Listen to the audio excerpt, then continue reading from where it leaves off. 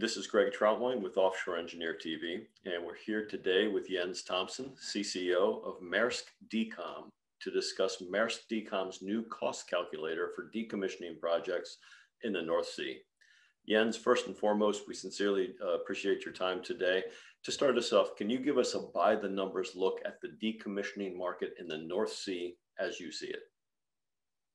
Yes, well, thank you so much for having me, uh, Greg. Uh, yeah, the the decommissioning uh, market is a, large market, uh, so there's various numbers out there because, of course, it depends a lot on uh, different things.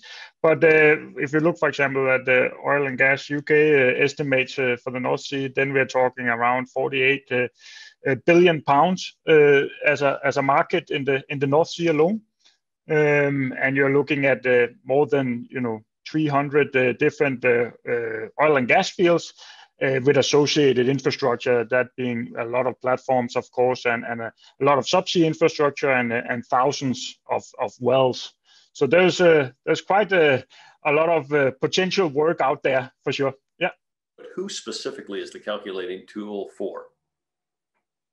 Well, it, it's uh, of course for anybody that's interested in looking at decommissioning projects, but the but the the, the background was more to say that the operators uh, of oil and gas uh, infrastructure that uh, would like to have a a, a more uh, discussion around what's the cost of decommissioning, and then it would be an easy way of them to to start opening di- dialogue with us, uh, being a specialized contractor for decommissioning. Right? How and why was the idea born? How long did it take, and how much did it cost Maersk Decom to create? Yeah, yeah, I can I can do that. Well, definitely because we are a dedicated decommissioning uh, contract. Basically, we don't do anything but decommissioning. So, so everything we do with all our engineers and specialists is are, are looking at how to really do uh, decommissioning projects in the most optimal way, both from our you know effectively and a cost-effective uh, environmental and sustainability uh, perspective. Uh, so th- that of course meant that we are gathering a lot of data in general uh, on, on our offerings and the ongoing projects we have and the historic uh, projects. So we thought, so that's really how it started. I started saying that all of a sudden we have all this data.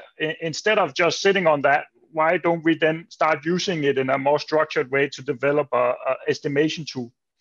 and then that, so that's how it started probably one and a half year ago where we started in more details in, in gathering these things and then the last six months we have uh, uh, developed more the idea around uh, how to actually do it and, and, and do it uh, in, in a free version to uh, to start with online.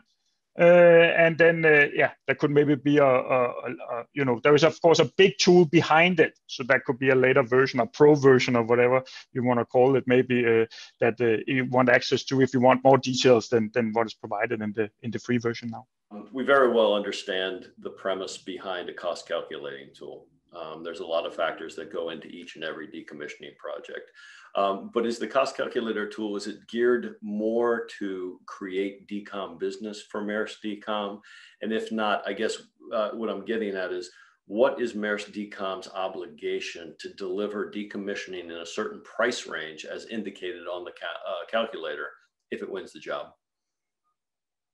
Yeah, so the idea is not that this tool is basically a proposal tool, meaning that if you uh, type in the, the thing and then it spits out a number and that's then a proposal that they can sign and then we'll go and do the decommissioning for that price. That's not the idea. So the idea is, uh, you know, in an industry, uh, we want to to try and be more transparent with what is actually the cost of decommission because it's one of these elements that is quite challenging to estimate or at least historically have been so we thought well, with our knowledge and data, we thought it was good to go out there and start having an open dialogue and be more transparent around this very important subject, uh, the cost. What does it cost?